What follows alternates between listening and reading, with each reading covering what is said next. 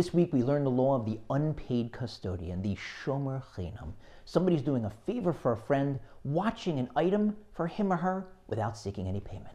If something happens to that item, the custodian is not responsible unless he was negligent. Even if the item's stolen, the custodian doesn't have to pay, unless we later find out that the thief was the custodian himself. In that case, he has to pay double the value of the item.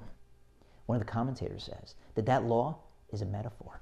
It's a lesson for us because each one of us is an unpaid custodian. God has deposited with us for safekeeping all of our individual combinations of talent and resources our charisma, our intellect, our wealth, our moxie, our persistence, our ingenuity, our know how, our sympathy. All of those things are meant to be used to serve God and to help others.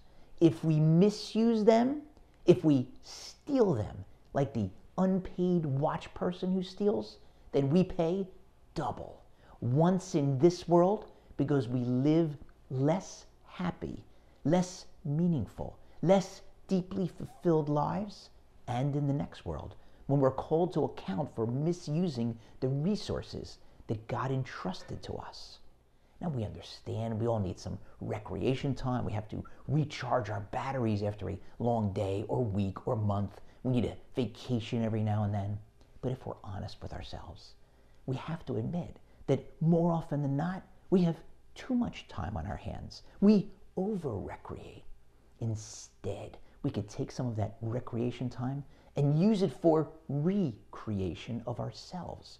By repurposing time that we were previously frittering away, we can make our lives so much more meaningful, give ourselves deep happiness and fulfillment. And there's so many things we can do. You can cook or bake for a family that has an illness or who just had a new child. You can drive people to doctor's appointments. You can visit the sick or you can volunteer for a charity. If you're familiar with Jewish texts and topics, you can donate your time and teach people who are spiritually needy. There's so many ways that we can repurpose that time. Or you can just make someone's day. It doesn't take that much effort or investment of time. I got a call last summer, several months into the pandemic, from a person that I don't see that often, but when we see each other, we're very friendly. Hadn't seen him in a while. And he called and we were making some small talk. He asked me about how I'm doing and my family during these difficult times. I asked him. And as we're making the small talk, I started to get curious. Why is he calling me? And so eventually, I guess I started to get impatient. I feel bad about this. So I said to him, So, how can I help you? And he said, No, I'm not calling for any particular reason. I just wanted to check in. Haven't seen you in a while. So I made a list of friends that I haven't seen. I figure I'll call them and see how they're doing during these trying times. I said, That's so nice. You just made my day. And he motivated me to make a similar list and call people. We can all do that.